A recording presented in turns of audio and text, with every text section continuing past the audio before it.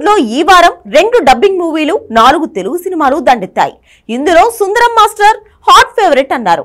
Dubbing cinema Bramayugam మలయాళంలో hit కాబట్టి ఇక తెలుగు వర్షన్కి వసూళ్ళ వర్షమే అనేశారు. మరి నిజంగా బాక్సాఫీస్లో రియాలిటీ అలానే ఉందా? ఫైనల్ టాక్ ఏంటి? Just watch it.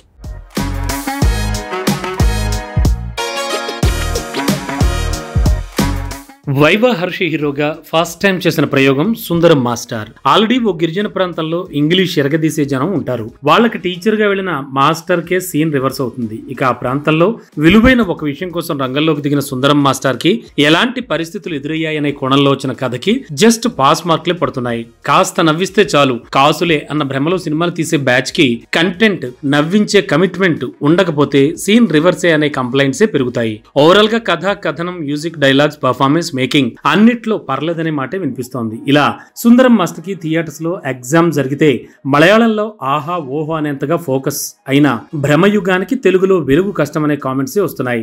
కొత్తగా అనిపించే కథ కథనం మూడే పాత్రలు మమ్ముట్టి మతిపోగొట్టే పర్ఫార్మెన్స్ అన్ని అదుర్సు. కానీ ఓటీటీలో ఓపిక్గా చూడాల్సిన సినిమాని థియేటర్స్లో టికెట్ కొనుక్కుని మరీ చూసే ఒప్పుకుంటుందా? తెలుగు జనాల టేస్ట్కి ఇది సెట్ అవుతుందా? అనేలాగా స్లోగా సాగే ప్రయోగంగా ఫోకస్ అవుతోంది. కేవలం ఒక్క డైలాగ్ మస్తు షేడ్స్ ఉన్నాయిరా అన్న మాటతో పాపులర్ అయినటువంటి స్టార్ అభినవ్ ఇప్పుడు తనకి కలిసి వచ్చిన డైలాగ్ నే సినిమాగా మార్చి ప్రయోగం చేశాడు. టైటిల్స్లో ఉన్న షేడ్స్ కథలో కథనంలో మేకింగ్ పర్ఫార్మెన్స్లో మిస్ అయ్యాయి. మస్తు షాక్స్ ఉన్నాయి సినిమాలో అన్న కామెంట్ మాత్రం పెరిగిపోతోంది.